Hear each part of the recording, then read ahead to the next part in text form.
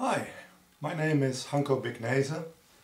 My medicine name is Starhawk Dreamer in the Cherokee tradition. Um, today I would like to talk to you about the subject of angels. Um, angels have recently become all the rage since the whole New Age movement got started. And, well, as often happens within spirituality, there's not really a very good or very tight definition of what is or isn't an angel. Um, if we look at the source text, like what is angel, what does the word angel mean? Literally it's a messenger. And the first mention of them is in the Bible, where they are messengers who make known to humans the will of God. So the messenger from God to humans. And this is inherently their purpose in the Bible. Um, a bit later we get into a different concept, the concept of the archangel. Uh, is literally first, and well, first angel, first messenger. And thereby already we start to have the idea of a hierarchy, so who was the first created and who were later created, thereby implying some kind of inferiority of the later creations. Um, if we move even further down the ages, we come to a man called Dionysius the Areopagite. Um, he was yeah, asked to study demons and uh, he wrote a book on this, and big book on demonology and um, he classified the demons into nine realms, into nine layers of power, increasing power. And he thereby also implied that the higher demons would dominate the lower demons. The Catholic Church then said, well, as it is in hell, it must also be this way in heaven. So they used the same model and claimed that the angels are organized according to exactly the same system. So instead of nine types of demons, now we have nine types of angels. And also the higher ones dominate the lower ones.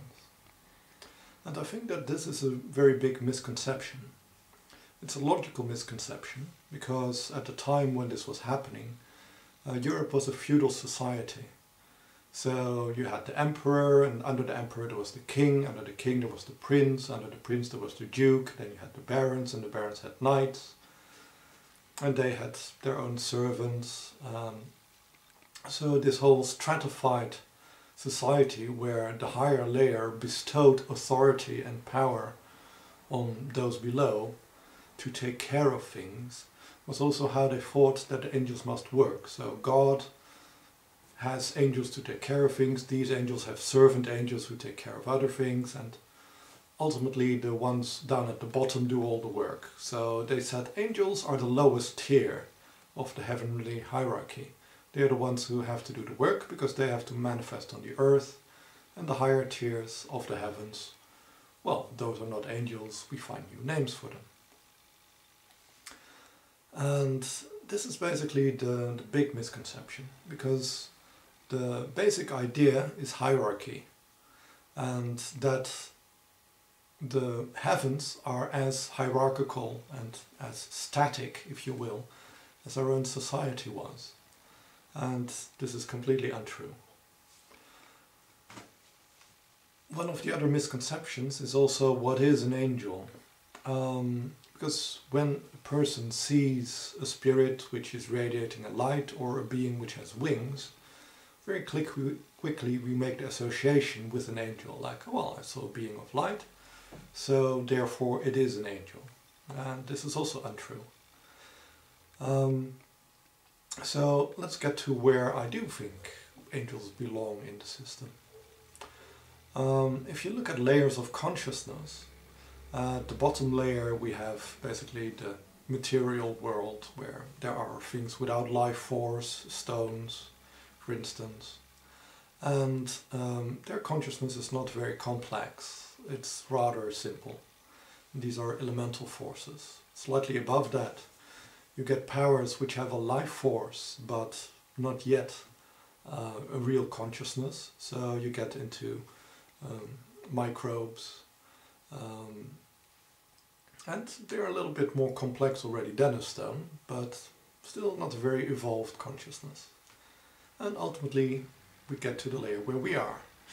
We have emotions, we have even thoughts, and so therefore we are a relatively complex yeah, being, but we're also relatively unconscious of our own complexity. And if we deincarnate, if we separate from our bodies, then we become a spirit. And a spirit also has emotions, also has thoughts, it has no body, but it has a much less clouded awareness. It's not obscured by the ego. And it is in this realm of spirit where we have most of our encounters, where we see most other spirits or other creatures.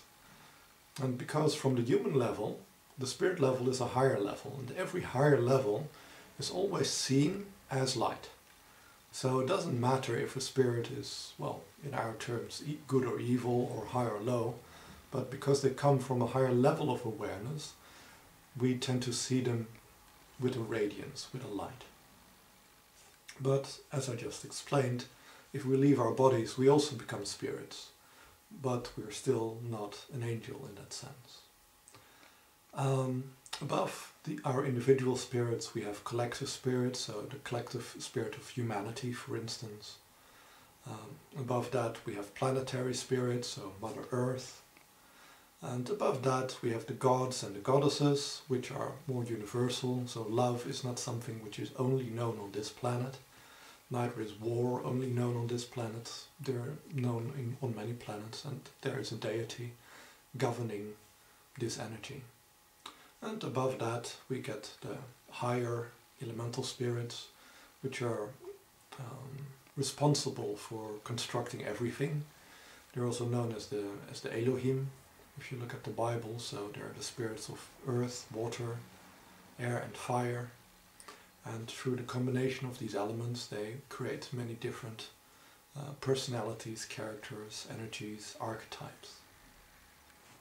And above these we get to the layer of enlightenment. Uh, this is basically where our soul exists, and our soul is not really bounded by any energy or any obscuration on this level if we do reach this level of enlightenment. But if we have to look at angels, it's even one or two levels above enlightenment. Um, this is kind of a, an interesting concept because in some religions enlightenment is the final goal. Um, but there is one important attachment which still exists even on a level of enlightenment, namely our own will. We have an individuality, we have our own willpower, we can decide our own fate. If we are enlightened, we can decide what connections we make or do not make if we are enlightened. So we have ultimate control from everything but ourselves.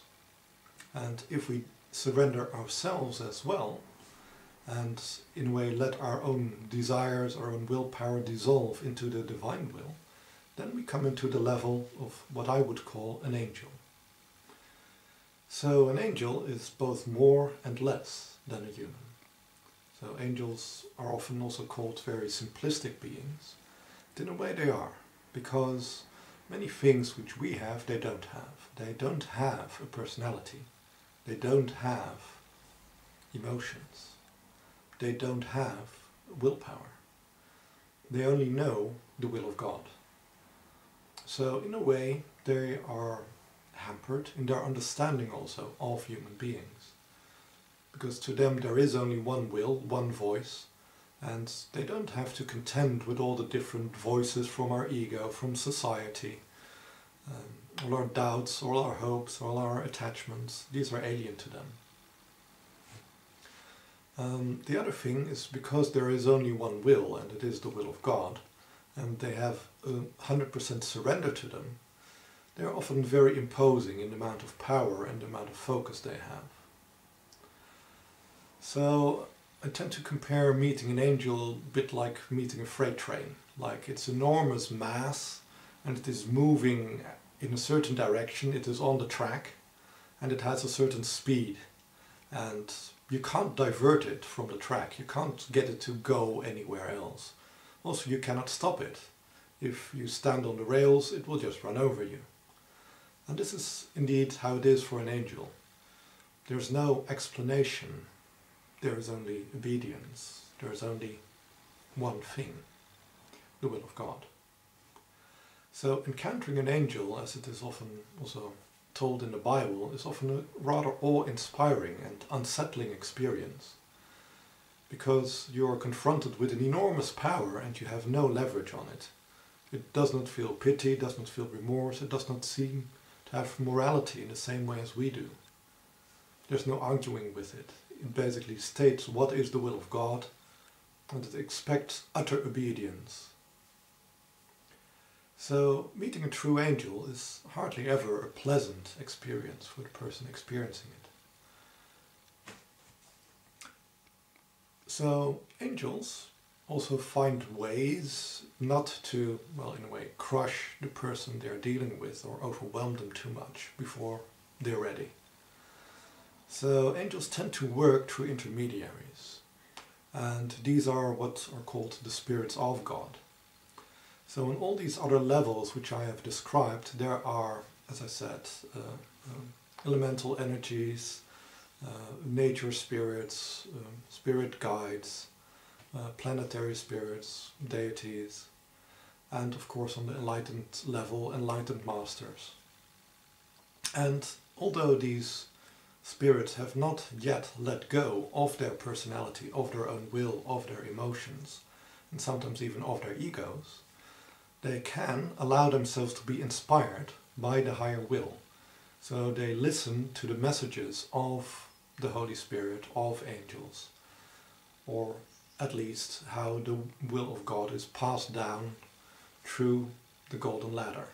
So the angel might tell it to an enlightened master, the enlightened master may work then with the spirit of humanity, spirit of humanity tells it to the people of a certain nation or certain culture and this cultural spirit will then manifest it in individual spirits. So as always, some things get lost in translation, and often what we do is but a poor reflection of the original will of God. But as we try to follow the will of God in this way and learn from our mistakes, our consciousness increases and fewer and fewer layers in between are needed for us to hear the will of God. So we can accept angels on higher and higher levels. So on a very low level, you have your own personal guides who are telling you something, or you got incarnated friends who are inspired to tell you something. If you get a little higher, you will deal with spirits of a community which are trying to guide you or to help the community. And if you go even further, you get into the more archetypal spirits who are trying to perfect a certain ideal, like perfect love, and how to manifest this on the world, or harmony with nature, and how to manifest this on the world. So this is already a higher level of inspiration, a higher level of messenger you're dealing with. And it is only when we reach a state of or close to enlightenment that angels often deign to speak to us directly, because they know that they are usually misunderstood, and it is no use to tell to a person about something if they don't have the power to manifest it.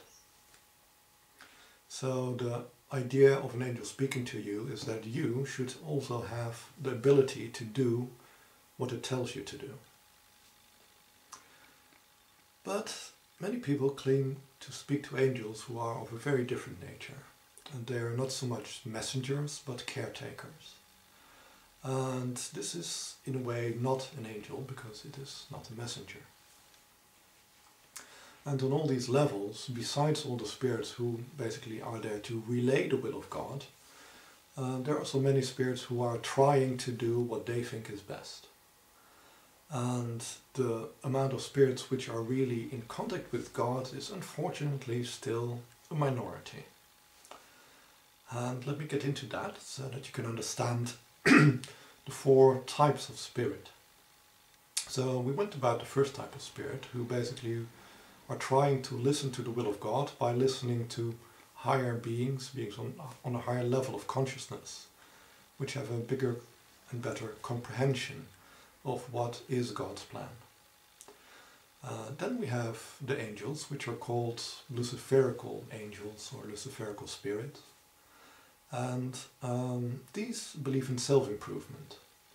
So instead of just listening to the will of God and be servants, they decide, well, I have a certain capacity, certain capability. I know there's a potential in me and I want to develop this potential. So a Luciferical angel or spirit is interested in self-development, in technology, in techniques, in knowledge, um, in power, in a certain level of control. And a Luciferical spirit will often look for challenges and see how it can challenge itself to be better, to be stronger, um, and thereby, by climbing in the, their level of power, their level of understanding, also come closer to God. So they have a more active attitude towards getting closer to God. Um, these Luciferical angels have kind of a, a side branch which split off from their group. And these are angels who are not completely following God, but they're also not working towards their self-improvement, but rather towards the improvement of all beings. So they act out of a sense of compassion, out of a sense of harmony. So often if we talk about nature spirits or um, landscape angels, we're talking about these angels of harmony. And angels of harmony, they were at the first instance Luciferical angels, so they believed in self-improvement. Then they saw that in a way focusing on themselves was wrong, because this is yeah, not the right way to follow the divine plan or not the optimal way for uh, consciousness to develop itself. And they believe that in a way the consciousness of all beings should be served, the consciousness of all beings should be improved.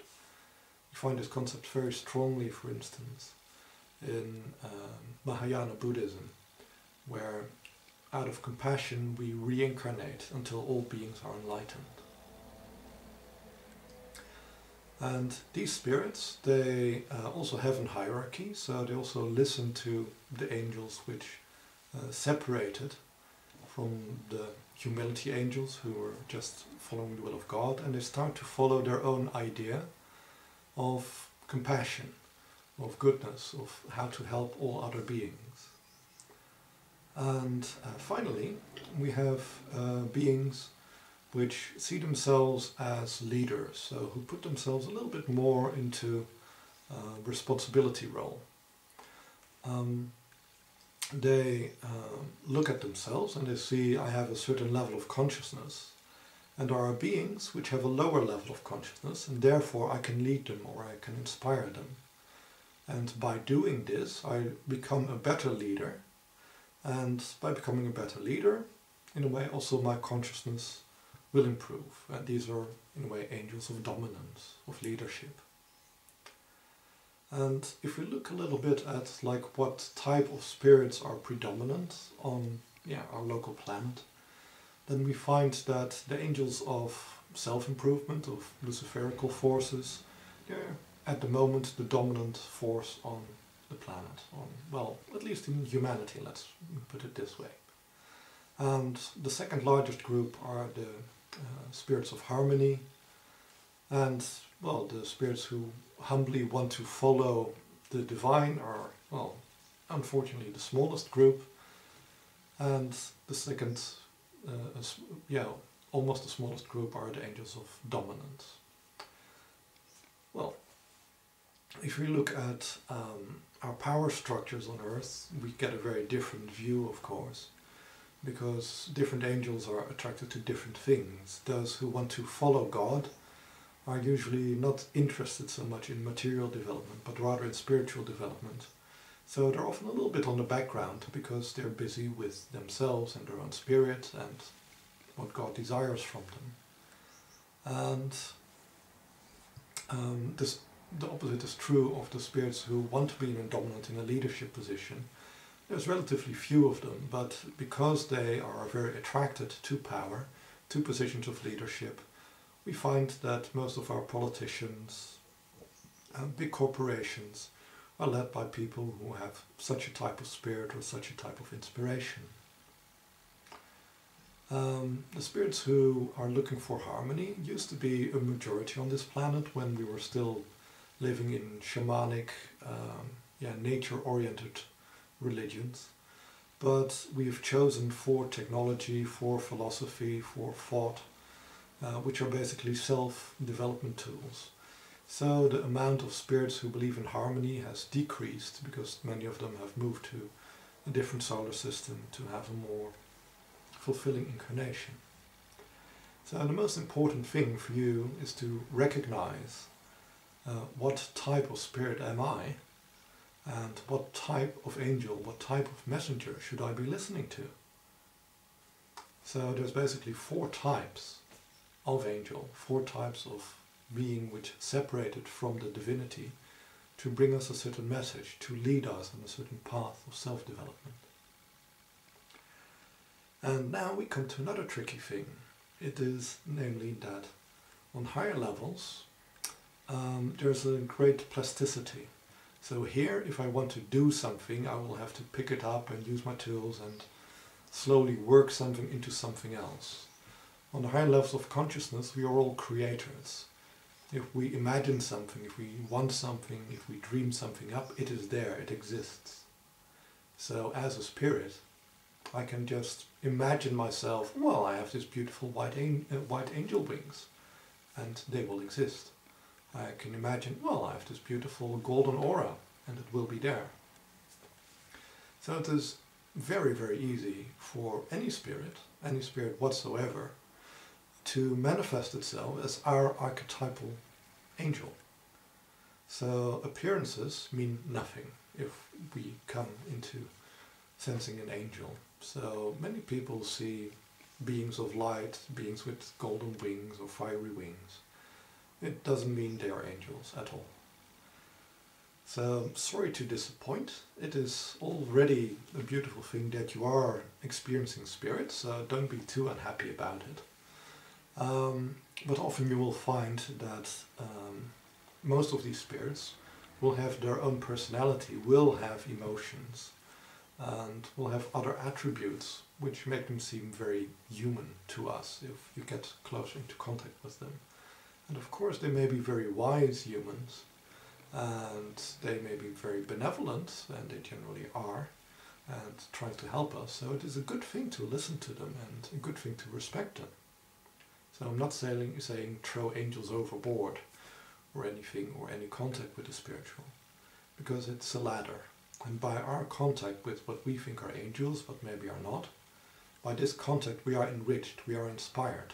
Slowly our consciousness increases and eventually we will pass up through the various layers get into contact with spirits on a larger scale who care about communities, about the planet uh, about principles, ultimately reach a state of enlightenment and after that get into contact with real angels or even become a real angel yourself.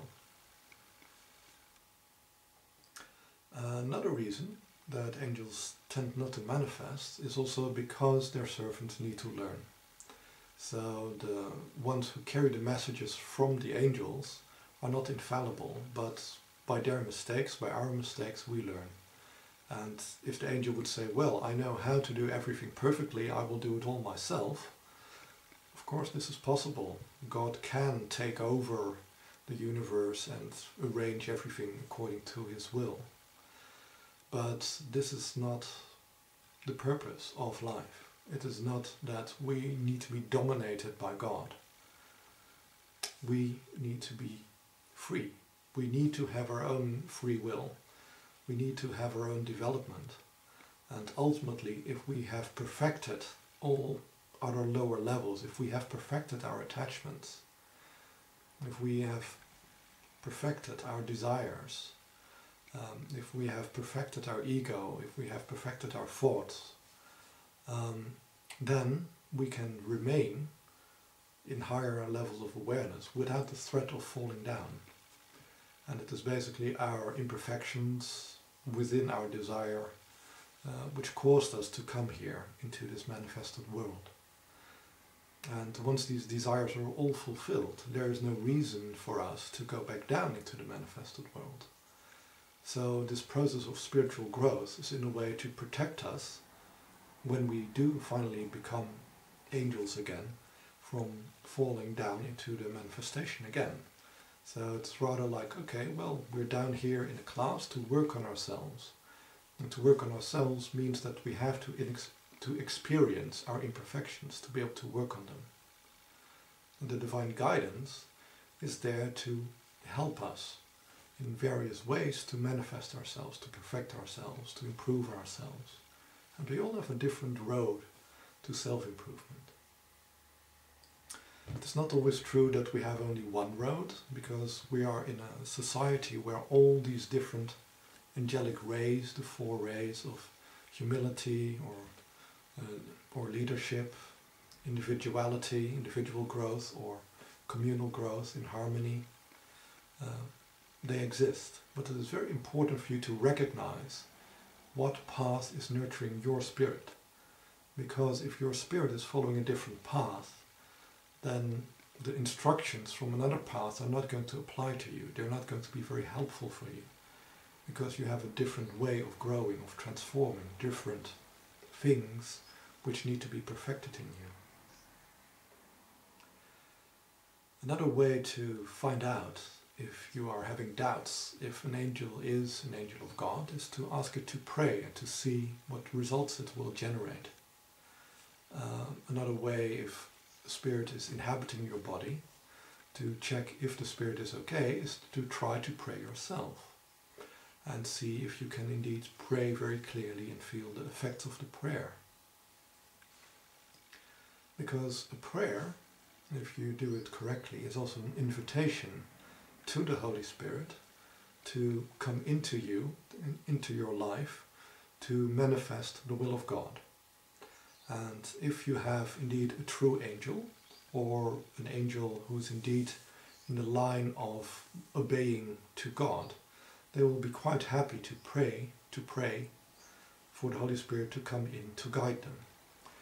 But for all the other three types of angels, uh, the angels of self-development, communal development, and uh, leadership, they have their own guidance system, they have their own willpower, which is driving them uh, on their journey uh, in our cosmos.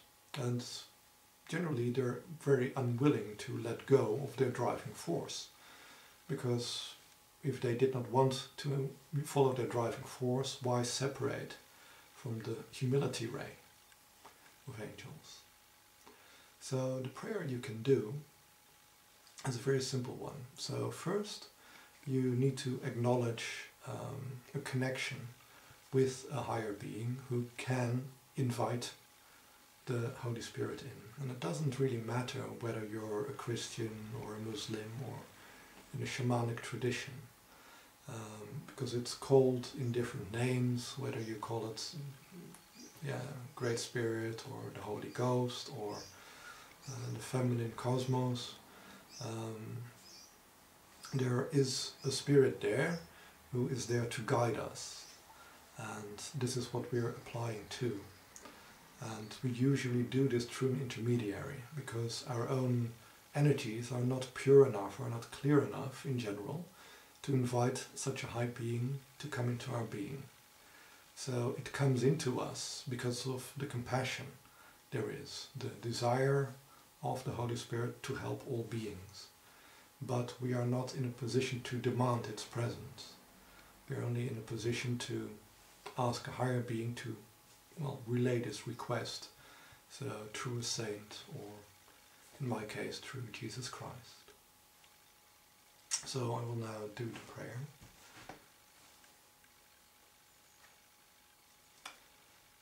Jesus Christ, my Lord and Saviour, I pray to you, my Master, and hope that you will grant me the blessing of the Holy Spirit, so that His will and not my will may be done. so that neither my emotions, nor my thoughts, nor my desires will cloud the will of God, that I may be His instrument, and that all I am and do will be according to His will. I now surrender all I am and all I ever will be and was to his domination. And I humbly accept the honour if you would be willing to bestow it on me.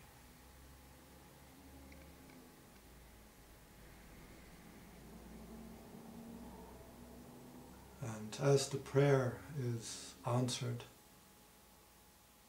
I have a feeling of all the tensions in my heart uh, disappearing, about a great calmness comes into my mind,